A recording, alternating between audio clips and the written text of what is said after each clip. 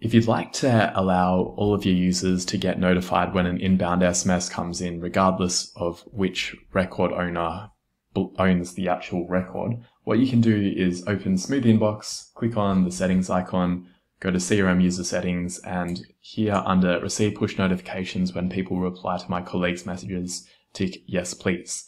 That will mean that that user will get notified. Each user needs to set this up themselves and it has to be set up on a per browser basis.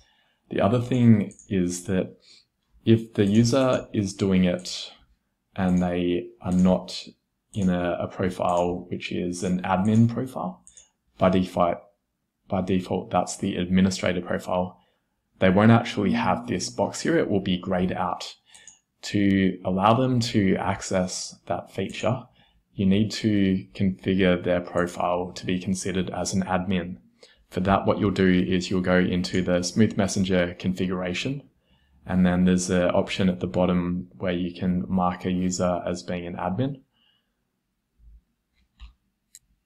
So under advanced settings, under bulk SMS permission, you can come in here and, for example, you could make your salespeople be considered admins for the purpose of using Smooth Messenger or SMS for Zoho.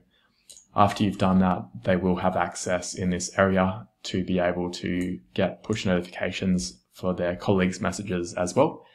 And they will also be able to see all messages using the all users feature.